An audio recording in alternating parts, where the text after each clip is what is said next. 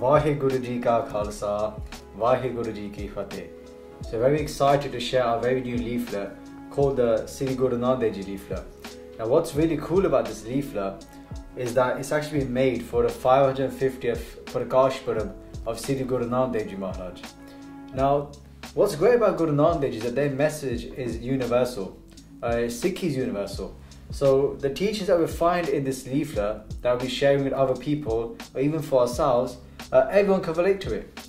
So there's many people who follow Guru Nanak Dev Ji Maharaj. Uh, you even meet Muslims today, Hindus today, Sindhis, many other groups who say that we love Guru Nanak Dev Ji Maharaj. So with this leaflet, what we're going to do is that we're going to go through it and we're going to see what the different sections talk about. And if we used to ever ever to do street parachar or speak to somebody else about Sikhi, about Guru Nanak Dev Ji, and we didn't know what to say, then hopefully we can use this leaflet as an aid at that time. Maybe we don't have time to speak to somebody, and then this leaflet will come in handy at that time. And when we look at the first part of the leaflet, on the first section, it talks about langar, known as a free kitchen, and also love. So very briefly, when we look at langar, langar very simply is free food, but it goes much deeper in terms of gurbani when they're making the food, when they're preparing it, when they're serving it. Uh, always remember the divine. It's a form of compassion, looking at other people and seeing them as one with us, seeing that the light of God sits in them as well. And then the section underneath talks about love. And they come together because in order to do someone else's seva, to serve somebody else, we have to have love for that individual. If we want to truly do their seva, if we truly want to serve that person, so the first two sections actually come together. It's basically seva and simran, right, which are like the wings of Sikhi that we can say. Uh, in order for a bird to fly, they need two wings. In order for a Sikh to live a great life, they have to have both of these things, seva and simran, which are very important. So when we're speaking to someone, uh, we can go into a lot of detail with these first two parts. Uh, just a few days ago, I was at the Gurdwara side and uh, I saw uh, a European couple actually come to the Gurdwara and they had no idea what it was. They just thought it was an, uh, a Hindu temple.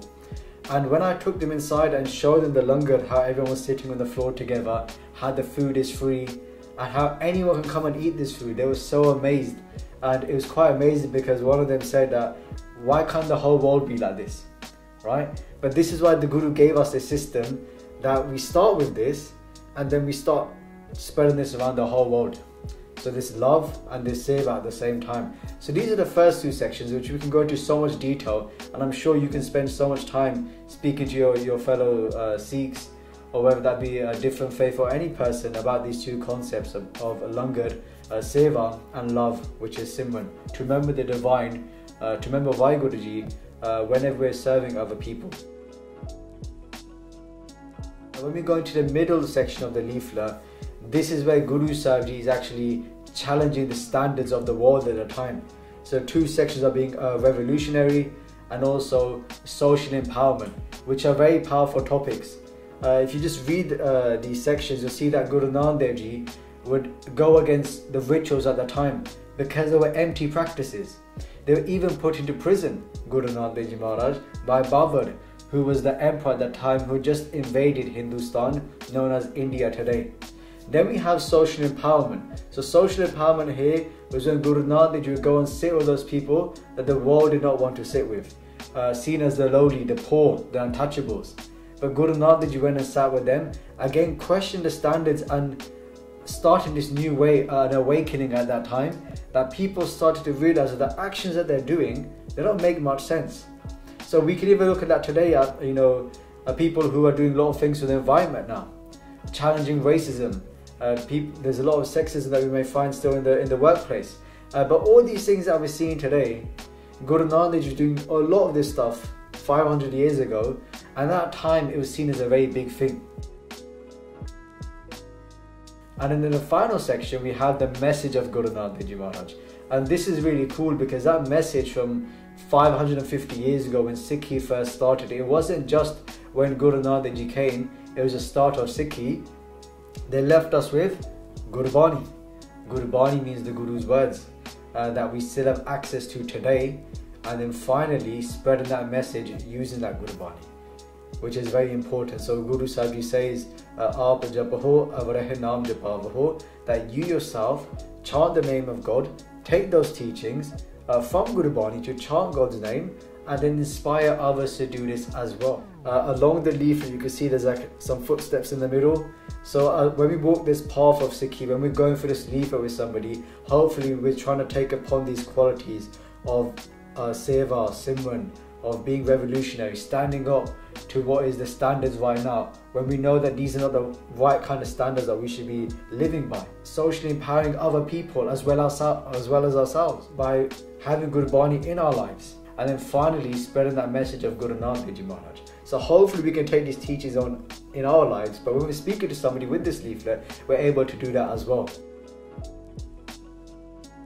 In the final section, if you look at the back of the leaflet, uh, you'll see that it has a fact file of Guru Nanak Ji Maharaj. So things like uh, their family members, uh, the close ones to Guru Nanak, their father, their mother, their sister, uh, etc. Then you have where Guru Sahib came on this earth, today known as Sri Nankana Sahib, and uh, how much they contributed to Sri Guru Granth Sahib Ji Maharaj, uh, their shabads, their hymns in Guru Granth Sahib Ji Maharaj, and then also how to contact us as well.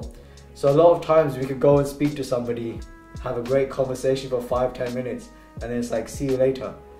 But the great thing about this leaflet is that we have all our, our social media platforms YouTube, Facebook. Uh, you can even just say YouTube because there's so much on there over 2,000 videos that go through Sikhi that they can go home and they can learn so much about Sikhi just through that leaflet. So we come to the end of this video now and we've just given you a brief overview of this leaflet. Again, we're so excited to share this leaflet with you guys because hopefully this is the first of many leaflets to come of our Guru Sahibans, of our first Guru till Sri Guru Granth Sahib Ji Maharaj. What we'll do now in another six videos is that we'll go through each section in a bit more detail. So in case you're thinking, uh, how can I learn more about Langar? I don't know much about how revolutionary Guru Nanak Dev was, or they went to prison. Uh, what happened when they went to prison? Why did that happen for? So in these next six videos, we'll go through those uh, different sections in much more detail so that if you want to speak to someone about that in more detail then you're able to do that so please forgive all the mistakes made in this video Vaheguru Ji Ka Khalsa Vaheguru Ji Ki Fateh